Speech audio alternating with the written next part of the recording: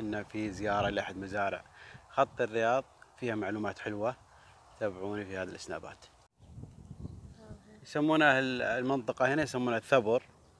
دائما يكون مستواه أقل من مستوى الشجر بحيث إن الماء اللي يطلع من الشجر يمر على هذا المكان ويتعبى. بعدين يستخدم مرة ثانية في السقي. هناك ال- البيوت المحمية يسمونها. إحنا نشوف هذا البيت المحمي. ما شاء الله زي ما توقعت زرعين الطماط. شوف الطماط ما شاء الله تبارك الله. على الامتداد على الطماط وهذا التقطير حقه. تستمر الجولة. الفزاعة مهمة جدا خاصة في فترة إنك تبذر أو تزرع عشان المحاصيل ما تجي تاكلها الطيور. يتجاوبون بسرعة فما شاء الله تبارك الله. هذا التركش هاد. واو. واو. أيوه ردوا. بيتك بيتك. يبي نطلعهم تمشي. يحبون يتمشوا الشباب. لا لا لا لا. يلا روحوا. عالم الدجاج. هذا النوع يسمونه عربي أو عربية. تجيك ملونة. غير النوع الثاني. نعيد لكم المعلومة مرة ثانية. اللي له عرف هذا؟ هاي يسمونه البلدي. واللي العرف الأحمر هذا البلدي. واللي يجيك بدون يسمونه كدش. زي هذا كدش. هذا كدش هذا يسمونه فرنسي. هذا ديك فرنسي. مكدش. الحين وجه لكم السؤال. هذا فرنسي ولا عربي؟ هذا واحد. هذا محبين الأرانب. جبنا لكم أرنب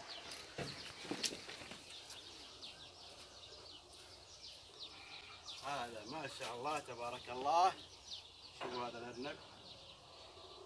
يبغى تربية. دائما نحط الأرانب في اماكن الأرض دائما تكون فيها نوع من الصبة عشان ما يبدون يحفرون. ونسوي لهم بيوت بهذا الشكل. شوفوا ما شاء الله هذه.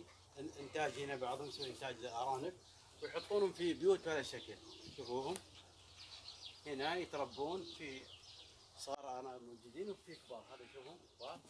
يطلعون من هنا. يلا انطلق. ما شاء الله تبارك الله. الأسود والأبيض هذا النوع يسمونها النجدي والنوع الثاني هذاك النعيمي وهذه ما شاء الله مقبلة عندي. ظهر انهم جوعانين فتره أكل يبون يأكلون.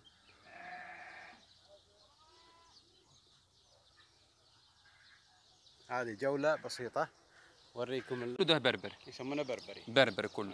هذه النوعية بربري. في نوع فيهم اللي هي استنى أوريها لك. انتبه معي على ال... أبو هذا. طيب تعال- تعال. إيش؟ هذيك ال- الغنم؟ إيه. الغنم كله. اللي هو أسود في ابيض والبني في ابيض وكله البيضة الصغيرة. فين؟ البيضة الصغيرة الصغيرة اللي جنب الفحل على طول ده. طيب، على أيوة، يمين أيوة. يمين الفحل.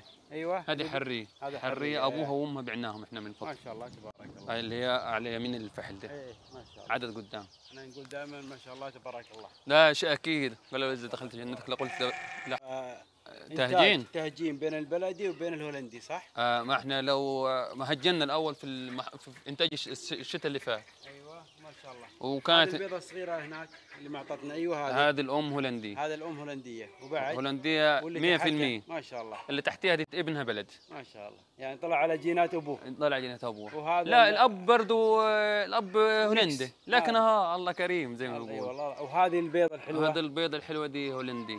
ما شاء الله تبارك الله. امها جنوبية هنا. امها الحمراء اللي هناك البنية الصغيرة اللي هناك. أيوه.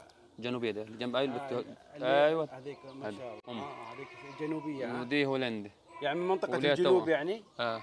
ما شاء الله تبارك الله. دي هولندية عندها توأم بتاعها ودي برضه لها توأم بتاعها ما شاء الله تبارك الله ودي والحساوي دي لسه حامل. إحنا حطينا قلنا تلت في الليل في البرد فقلنا تلت في الدفى من الداخل. ما شاء الله تبارك عسى ما يموت ولا يجرى له شيء. إن شاء الله. الساعة هي عبارة عن نبتة الأراك اللي هي السواك وهي سبحان الله مرضاة للرب وأيضا مطهرة للفم.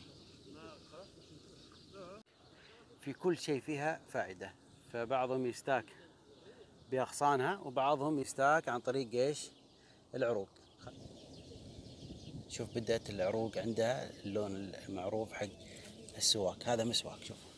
الأرض الرملة اللي فيها أو شيء فيها بسيط من الطين سبحان الله تبدأ تتعمق الآن شوفوا ما شاء الله وين وصل والآن تقاطع أيضا مع عرق ثاني اللي هو المسواك. بنقص لكم واحد الآن عشان تشوفون على الطبيعة.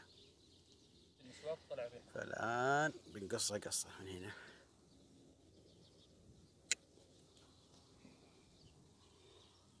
تدفنونها عشان العرق يحافظ على نموه ولا يتأثر. حلوة اللي يبغى يزرع الأراك في البيت.